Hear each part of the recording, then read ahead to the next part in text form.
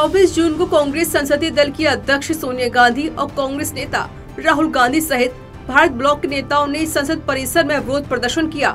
विरोध प्रदर्शन के दौरान कांग्रेस संविधान की रक्षा करने जैसी बात कर रही है।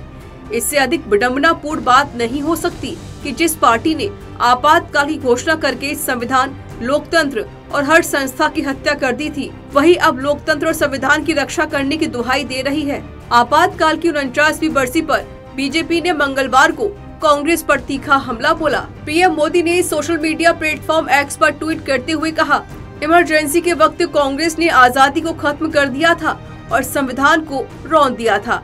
आज का दिन उन सभी महान पुरुषों और महिलाओं को श्रद्धांजलि देने का दिन है, जिन्होंने आपातकाल का विरोध किया।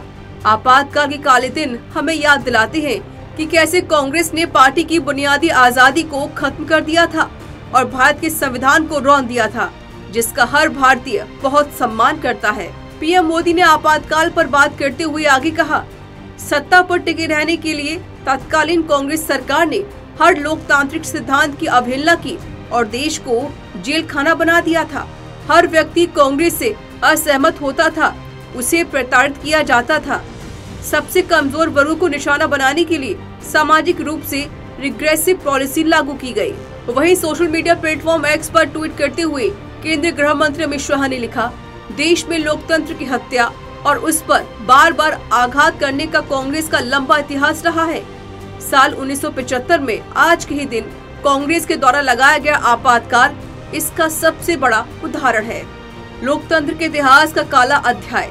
वही रक्षा मंत्री राजनाथ सिंह ने एक्स पर पोस्ट साझा करते हुए लिखा आज से ठीक उनचास साल पहले भारत में तत्कालीन कांग्रेस सरकार द्वारा आपातकाल लगाया गया था।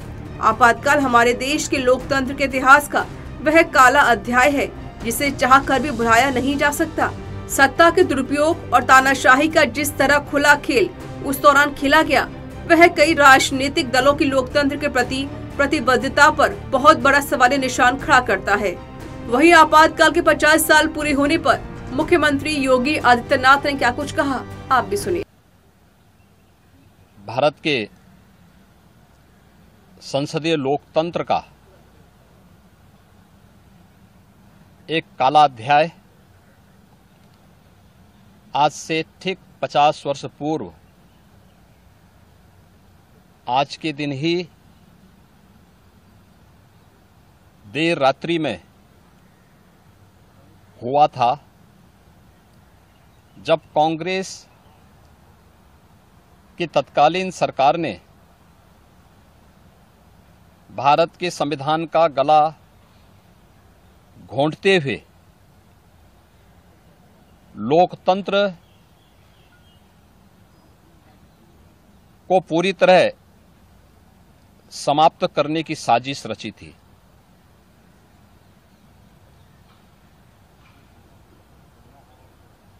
पच्चीस जून 1975 रात के अंधेरे में श्रीमती इंदिरा गांधी जी के नेतृत्व में कांग्रेस की सरकार ने कैसे भारत के लोकतंत्र को नष्ट करने का प्रयास किया था। उस समय के सभी विपक्षी दलों के नेताओं को उसमें से अटल बिहारी वाजपेयी जी, श्री मोरारजी देसाई जी, श्री जयप्रकाश नारायण जी, श्री लाल कृष्ण आडवाणी जी और विपक्ष के सभी नेताओं को बंद करके लोकतंत्र के गले को पूरी तरह घोटने का प्रयास किया था। आज जब 50 वर्ष के उपरांत हम इमरजेंसी की उन यादों को स्मरण करते हैं तो स्वाभाविक रूप से कांग्रेस में चेहरे बदले होंगे। लेकिन उसका चरित्र, उसके हाव भाव आज भी वही हैं, जो 1975 में एक बर्बर चेहरा उस समय में कांग्रेस पार्टी का देखने को मिला था। आइए जानते हैं इंदिरा गांधी के इस फैसले से, कैसे देश में मची थी उथल पुथल 26 जून 1975 को भारतीय इतिहास का काला अध्याय माना जाता है। ये वो दिन था जब देश की प्रधानमंत्री इंदिरा गांधी ने सत्ता के मुँह में लोकतंत्र की हत्या कर दी थी। 26 जून 1975 की सुबह रेडियो पर तत्कालीन प्रधानमंत्री इंदिरा गांधी की आवाज़ में एक संदेश सुनाई दिया। भाइयों और बहनों, राष्ट्रपति जी ने आपातकाल की घोषणा की है, जिसके बाद लोकतंत्र को बंधक बना लिया गया, प्रेस पर ताले लगा दिए गए और लोकतंत्र के समर्थकों को जेल में डाल दिया गया। आपातकाल की घोषणा के साथ ही सभी नागरिकों के मौलिक अधिकार निलंबित कर दिए गए। अभिव्यक्ति का अधिकार ही नहीं, बल्कि आम लोगों के पास जीवन का अधिकार भी नहीं रह गया था।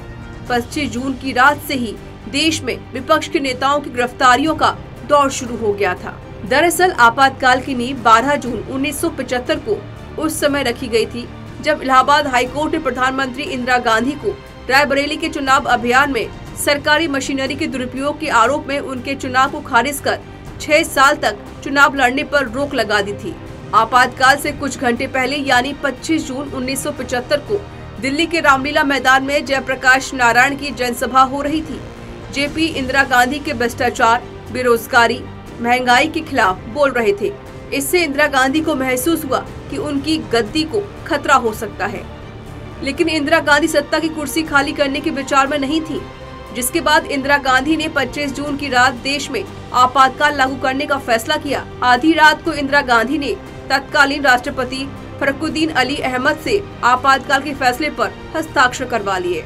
वहीं आपातकाल के दौरान जयप्रकाश नारायण, अटल बिहारी वाजपेयी और लाल कृष्ण आडवाणी जैसे जितने भी लोकतंत्र समर्थक नेता थे, सभी के सभी सलाखों के पीछे डाल दिए गए।